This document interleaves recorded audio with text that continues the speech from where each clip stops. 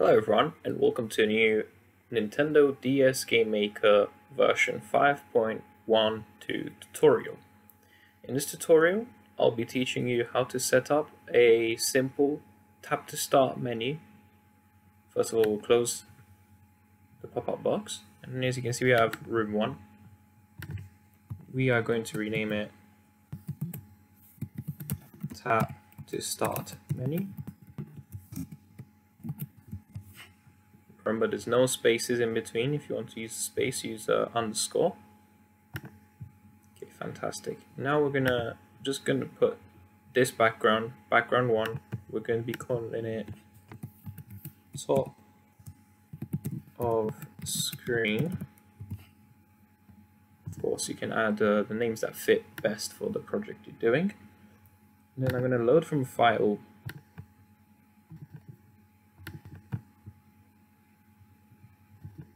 here I have a actual pre-made tap to start screen. Part of a project that I'm currently making. So I'm going to be adding that and I'm going to be adding it as bottom touch screen. There we go. Keeping it nice and organized. So now we'll go into onto the room. You can see we have top screen bottom screen okay? So we're going to be adding top screen the top of screen graphic and bottom screen, bottom touch screen. Fantastic, except we've got the screen set up. So now what we will be doing is we're going to be creating another room as well. So room 2, we're just going to be calling this main menu.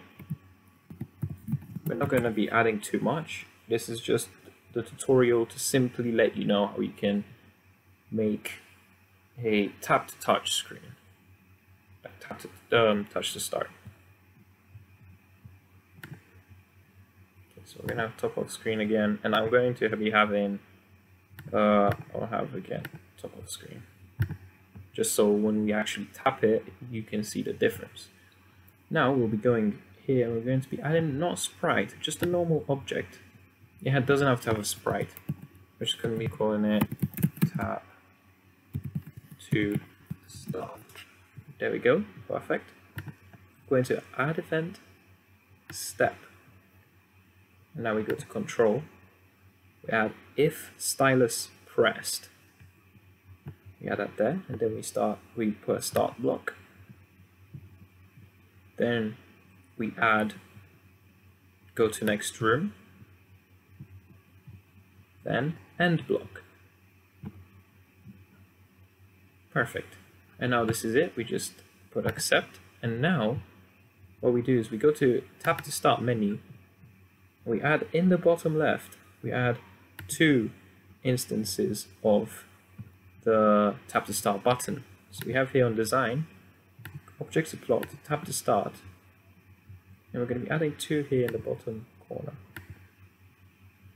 You can add more, it's fine, but uh, usually I go with two. Accept. And now we should be able to run it. Go and test game, creating game. So you can see no errors, that's good. Press any key start, there we go. Boom, simple. That's it, a tap to start screen. Thank you for watching and uh, stay tuned for more tutorials.